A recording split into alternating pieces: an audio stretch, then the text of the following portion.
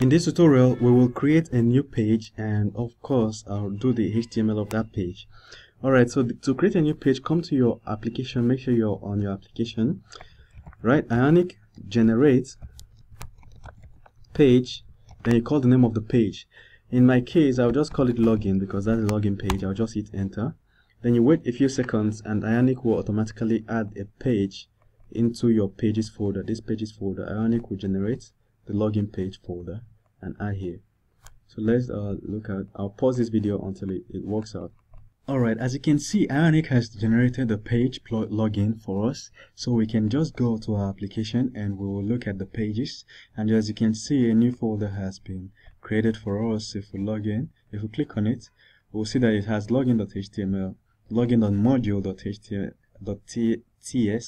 login.css and login.ts ts so if we go to our login.ts we'll see that it's exporting login page all right so we need to import it from our app.component.ts for us to be able to use it here we need to import it from here.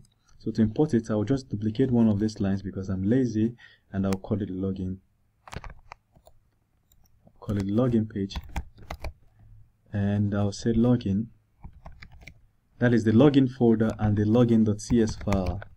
So we're going to pages folder the login folder and the login.ts file. We're just basically telling it that it should go here and it's going to see uh, a class being exported and the class name will be login page all right so now as you can see what we're basically doing is uh, if the user is logged in redirect to home page. If the person is not logged in this this basically is not redirect. What it's basically doing is is setting the home page or the root page, the default page, to the login page if the user is not logged in.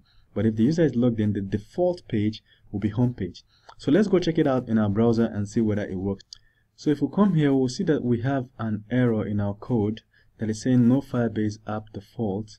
Um, what we can do is to make sure that our, that our Firebase was initialized. I'll go to app.module and see that actually it was initialized so what I'll personally do is to restart my server and um, have it work. So I'll just go and restart my server. Control C on your keyboard, Control C again. Then if you do Ionic Serve, I'll, I'll personally close this. I'll have to close this. Then go into the app again. Ionic Upload. Then from here, I'll right click. Um, that's the best way to restart your server to make sure that your um, Ionic serve so I'll pause this video. Whenever it, it's finished um, serving we'll check out whether it's resolved our problem. So I've restarted my server as you can see here but um, it doesn't uh, resolve my problem because our problem is in several layers. I've restarted my server and it's running. So if I go to my browser I'll see that I've expanded this. This is the, the app. As you can see it's saying cannot set property root page of undefined. Alright, so if we go back to our app.components page and we go to root page, it's saying root page of undefined. It's saying that this is not defined. In Firebase, this the, the this keyword has a different scope inside uh, the Firebase functions, um, Firebase closure function. So what we're going to do is to save var that equal to this. So this helps us to uh, declare another variable and use it inside. Since this will not work, we can use that I hope the wordplay is not confusing you so uh, we can do now is what we can do now is to refresh. As you can see it's working perfectly well for us. And then the next one is um, like I told you the problem is in different layers. The next layer is that it's saying no component factory found for login page. Alright when we created our login page from what we have here we created our login page. It's automatically created a page but there is something that it didn't do in ionic whatever page you create you need to list it to an app.module.ts so we have our login page created here. Then in app.module.ts we need to import it first. So to import it i'll just do control control c control v. That duplicates a line for me. I'll just import it. So every page in your application needs to be imported into your your app.modules.ts so I'll call it login login. We've imported the login page.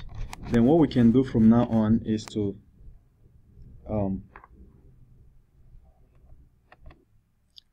alright so now we've imported it we have to now set it up in several different places if we scroll down see that we need, we need to declare all our pages so we've declared home page by default and list page ionic did it for us for us so we are going to declare the the login page. You understand? And the next thing we're going to do is scroll down the entry components. We have we have home page and list page. We're going to have a login page too. Don't forget to add the comma don't forget to add the comma list, login page and comma our login page there all right everything looks cool and uh, if we go back to our browser now we can see that it uh, works perfectly so what I'll do is just uh, inspect element so that it will look like a mobile app for me when I inspect element as you can see we're not logged in so we are being thrown to the login page according to the code we wrote here we said if the user is not logged in throw him to the login page and that's where we are that's thrown us. So in the next video, we'll create the login control so that the user can log in and then if the user logs in successfully, they'll be redirected to the home page. So thank you very much for following this far and see you in the next video.